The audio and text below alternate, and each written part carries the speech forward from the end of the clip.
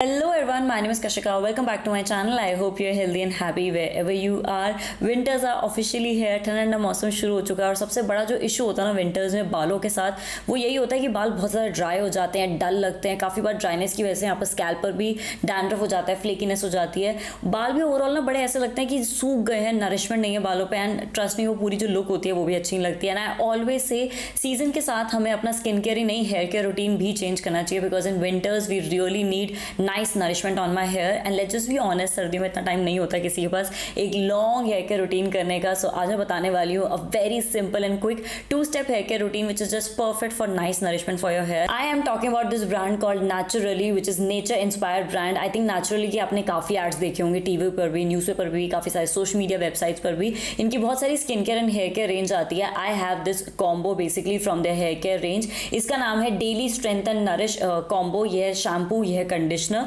सो ये same range का है ऑलवेज से जब सेम रेंज के प्रोडक्ट यूज़ करते हो ना आपको ज़्यादा अच्छा रिज़ल्ट मिलता है। Let's just talk about shampoo first of all this is the naturally daily strength and nourish shampoo इसका क्लेम है hundred percent stronger two x nourish hair if I talk about the ingredients इसके अंदर आपको मिलता है rice water first of all we all know rice water कितना अच्छा होता है बालों के लिए। uh, पहले के लोग तो राइस का जो पानी होता था वो लिटरली यूज़ uh, करते थे अपने बालों को रिंस ऑफ़ करने के लिए but let's just be honest आजकल इतना टाइम नहीं है किसी के पास। सो इट्स गुड कि हमें एक बॉटल में वो राइस वाटर के बेनिफिट्स मिल रहे हैं। सो so, अगर आपको नहीं पता राइस वाटर बहुत अच्छे से जो भी डैमेज होता है ना हेयर को, उसको ट्रीट करने में हेल्प करता है, जो भी डलनेस होती है, उसको भी हटाता है। एट द सेम टाइम बालों को स्ट्रेंथ बहुत अच्छी देता है राइस वाटर और ये ड्राइंग भी नहीं होता। सो सबसे बेस्ट बात यह है कि विंटर्स में काफ़ी अच्छी एक नरिशमेंट भी रहती है। एंड अगेन इसमें मैकेडेमिया नट ऑयल है, जो अपने आप में बहुत ज़्यादा नरिशिंग होता है। सो इस शैम्पू को यूज़ करके मुझे सबसे अच्छा यही लगा कि मेरे बाल ड्राई नहीं हुए। ऐसा ही लगा कि मैंने कुछ ऐसा शैम्पू यूज़ कर लिया। ऐसे बाल, काफ़ी बार शैम्पू को जब रिंस ऑफ़ करो ना, बाल ऐसे लगते हैं हार्ड हार्ड लगते हैं, बहुत ज़्यादा ऐसा लगता है उसकी अपनी नरिशमेंट भी चलेगी शैम्पू के साथ। बट इसके साथ ऐसा फील नहीं होता। इसकी कंसिस्टेंसी काफ़ी अच्छी, एक मिल्की क्रीमी जैसी कंसिस्टेंसी है। आई ऑलवेज से कि जब विंटर्स आते हैं ना जेल बेस्ड शैम्पू से शिफ्ट कर जाया करो टुवर्ड्स मिल्की शैम्पू और ये वही है, ये बिल्कुल मिल्की क्रीमी फील होता है and it forms really well like जब मैंने पढ़ा था ना ये paraben free and sulphate free I was like sulphate free है, शायद इतना फॉर्म नहीं होगा बट ट्रस्ट में ये बहुत अच्छे से फॉर्म होता है। आप थोड़ा ही प्रोडक्ट लोगे ना, काफ़ी अच्छे से ये फॉर्म अप हो जाता है। आप अच्छे से इसको स्कैल्प एंड ऑल पे मसाज कर सकते हो, और ये रिंस ऑफ़ भी इजीली हो जाता है। फ्रेग्रेंस भी इसकी काफ़ी माइल्ड है, इसमें वो बिल्कुल भी या it does not have that very strong overpowering वाली खुशबू जो आपको एकदम सरदर देगी। काफ़ी अच्छी एक जेंटल मतलब नेचर इंस्पायर्ड जैसी इसमें खुशबू आती है। जैसे आप कहीं लाइक बीच या फिर कोई फॉरेस्ट वाला रिजॉर्ट नहीं होता, वहाँ पर एकदम फ्रेश वाली खुशबू आती है। तो डेफिनेटली जो सुपर ब्लेंड है ना मैकेडेमिया नट ऑयल का और राइस वाटर का, वो बहुत अच्छा रिज़ल्ट देता है। बिल्कुल भी बाल सूखे ड्राई फ्रिजी फील नहीं होते इसको हटा के। बट डेफिनेटली अगर आप बालों को और अच्छी नरिशमेंट देना चाहते हो तो आप नेक्स्ट स्टेप पर तो जाओगे ही जाओगे। By the way this is not just paraben and sulphate free इसमें पीछे लिखा हुआ है this is phthalate mineral oil and formaldehyde free as well so अगर आप बहुत ज़्यादा कंसर्न हो कि आपने स्कैल्प पर बहुत सेफ़ फॉर्मुलेशन के प्रोडक्ट्स यूज़ करना चाहते हो can definitely check it out this shampoo let's just talk about conditioner now ये भी उनका सेम रेंज का डेली स्ट्रेंथ एंड नरिश का कंडीशनर बाय द वे अगर आपको लग रहा है कि इसका नाम डेली क्यों है बिकॉज़ ये जो रेंज है, ये काफ़ी ज़्यादा जेंटल है और नरिशिंग है, आप इसको डेली बेसिस पर भी यूज़ कर सकते हो. मैं पर्सनली डेली हेयर केयर नहीं करती, मैं ऑल्टरनेट या फिर मैक्स टू मैक्स मतलब दो या तीन दिन के कैप में ज़्यादा प्रेफर करती हूँ. बट अगेन अगर आपका कोई ऐसा काम है, आपको लगता है कि आपको हर दूसरे दिन तो बाल धोने ही धोने हैं। तो ऐसी रेंज काफ़ी ज़्यादा आपके लिए सेफ़ है बिकॉज़ ये बिल्कुल भी आपके बालों को स्ट्रिप ऑफ़ या फिर ड्राई नहीं फील कराएगी। कंडीशनर भी इनका काफ़ी अच्छा है। Love the packaging of the conditioner so shampoo जो है वो कुछ इस तरह से आता है। ऑब्वियसली आप ऐसे पोर कर सकते हो। बट जो कंडीशनर की पैकेजिंग है वो ऐसे स्क्वीजी वाली पैकेजिंग है तो काफ़ी ईजी रहता है। स्क्वीज आउट करना। बिकॉज़ कंडीशनर का जो फॉर्मुलेशन होता है वो हल्का सा थिकर होता है एज कंपेयर टू शैम्पू तो ऐसी बॉटल से स्क्वीज आउट करना काफ़ी ईजी हो जाता है।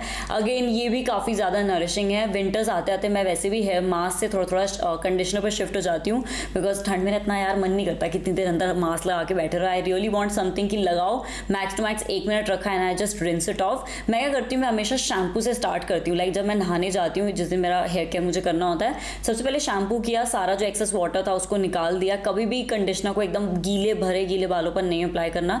एक्सेस वाटर को जितना निकाल सकते हो, निकाल दो सेक्शनिंग करके, अच्छे से इसको एक एक सेक्शन पर आप पाम पर लेके मसाज कर सकते हो। ये सबसे बेस्ट तरीका होता है, अच्छे से कंडीशनर अप्लाई करने का, अपने हेयर लेंथ पर और कंडीशनर अगर आपको नहीं पता स्कैल्प में नहीं लगाना you don't need conditioner on your scalp तो खाली आपको हेयर लेंथ पर लगाना होता है तो आप अच्छे से डिवाइड करके अप्लाई करो. और फिर मैं एक बन टाइप बना लेती हूँ. बन बनाने के बाद फिर मैं बॉडी वॉश या फिर जो भी सोप यूज़ करना होता है, वो यूज़ करती हूँ. बॉडी बेसिकली मैं अपनी क्लेंस कर लेती हूँ. सो उससे क्या होता है वन या टू मिनट्स के लिए एटलीस्ट वो कंडीशनर मेरे बालों पर रहता है और अच्छा रिज़ल्ट देता है. So this is kind of कशी का hack that I would say जो बेस्ट रिज़ल्ट देता है हेयर केयर में. Is the final result on my hair I am personally love it मतलब ऐसे करो ना तो बड़ा सॉफ्ट सॉफ्ट फील होता है। और ये मेरी सेकेंड डे हेयर है बाय द वे मैंने कल अपना हेयर वॉश किया था।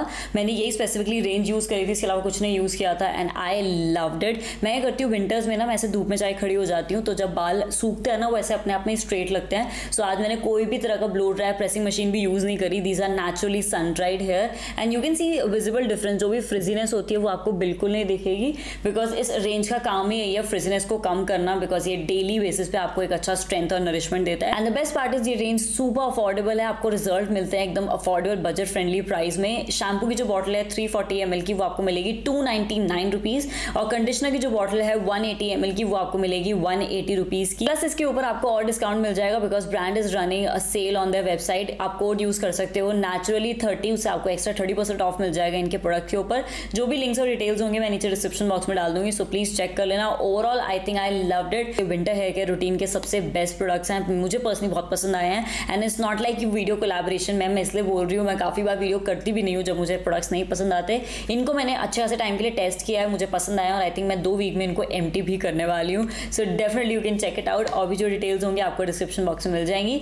डू लेट मी नो आपने इस ब्रांड का कौन सा प्रोडक्ट यूज़ किया, आपका कैसा एक्सपीरियंस रहा या जो भी हो, आप कॉमेंट सेक्शन में मुझे बता सकते हो। एंड या that is it for days video I see you next time bye bye